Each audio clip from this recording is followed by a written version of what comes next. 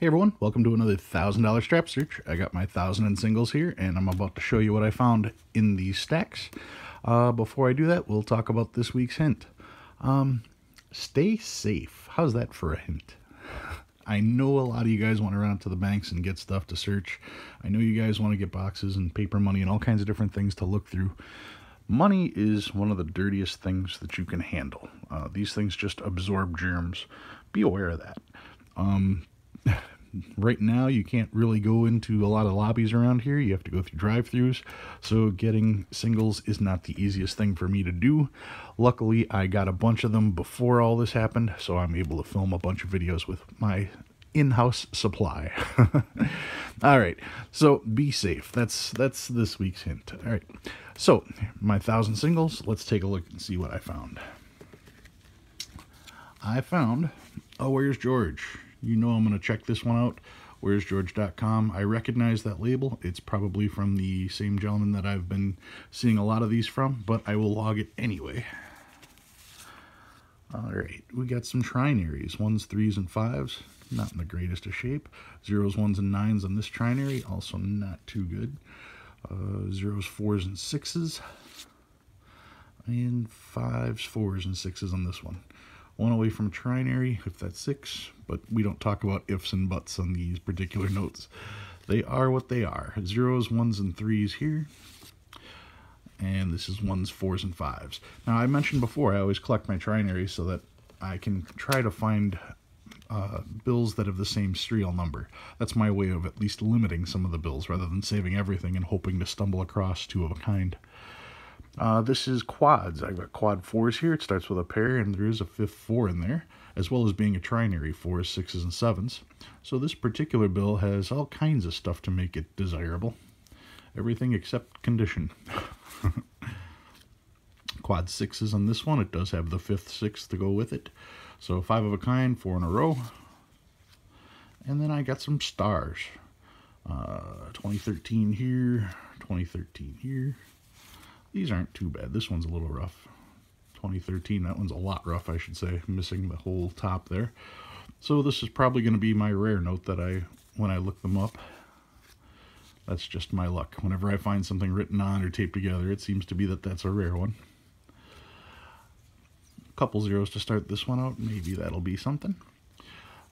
I always show my stars because I don't look them up right away. I wait till I have about 150 or 200 of them because it just takes way too long to do these one at a time. I'd much rather do them all together. Now, these are my older notes. This one is 1999, 1995.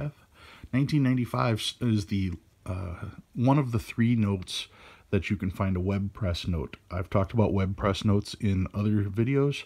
Those are available in 88A, 93, and 95. What you're looking for is, see where that A is? If that A is not there, or any other letter, all you want to see on a web note is just that teeny tiny little number right there. And then on the back of the note, you will find the plate number here. The plate number on a web note is going to be up here by In God We Trust. So that's what you're keying on as far as those. Also for the 1995s, as I mentioned in a previous video, uh, if you find 1995 or older, a star note with an I on it, that's something you just don't see very often. Those are extremely rare as well. Uh, this one's also 1995, a little bit rough condition. 1993, this is actually in decent shape, good color, good quality on the paper, a little dirt dot over there. This one is 1993, and the oldest note of the group is just a 1988A. So those were my finds from my $1,000 strap search. And uh, let's see, what do I have in here? Well, I don't usually do requests, but somebody requested something I didn't have, so I brought out the closest thing I could. Uh, somebody was asking if I had a $1 1928 legal tender. I do not. I didn't realize how scarce those were. Here I am going through all these singles, and there's a single that I don't have. Uh, but I did manage to pull out uh, from my safety deposit box. This here is a 1928 a $5 legal tender. 1928 $5 legal tender. You can read the inscription here. Uh, this note is legal tender as its face value for all debts, public and private, except duties on imports and interest on the public debt. So you'll notice that this is called a United States note, a legal tender note. It is not a Federal Reserve note. Uh, it's not guaranteed by the Federal Reserve. It's not a silver certificate or a gold certificate, so there's nothing backing it that way. But the legal tender notes were actually backed by the purchase of bonds.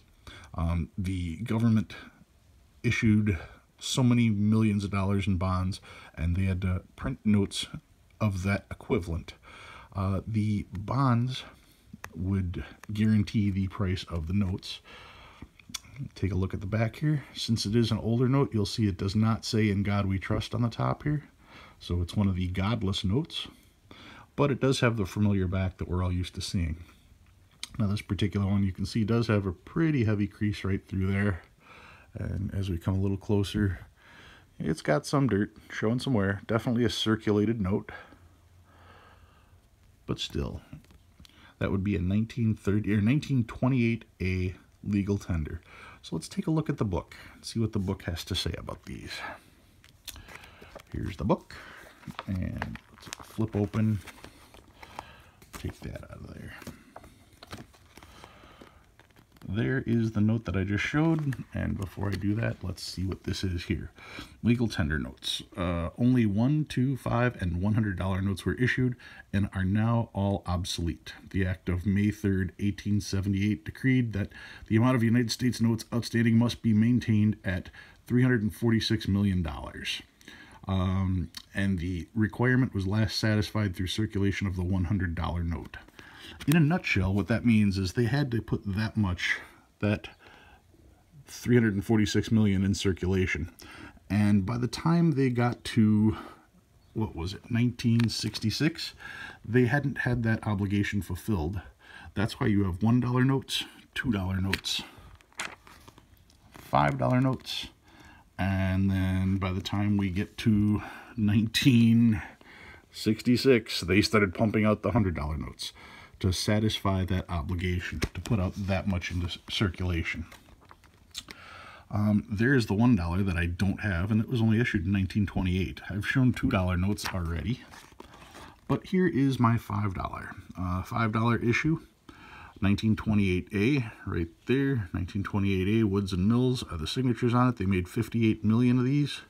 They start out at 1250 and they run up quickly to 50 bucks. And if it's choice uncirculated, you're talking $425 for this particular note. So, that's what the book has to say about that. We'll just lock this up here. So there it is. My 1928A $5 legal tender note that's what I've got for you guys this week. If you learned anything new, go ahead and hit that like button. If you like what you see, go ahead and subscribe. I love putting out this stuff. I love reading you guys' comments. Thanks for watching, and thanks for commenting down below. I'll talk to you guys next week. Stay safe, everyone.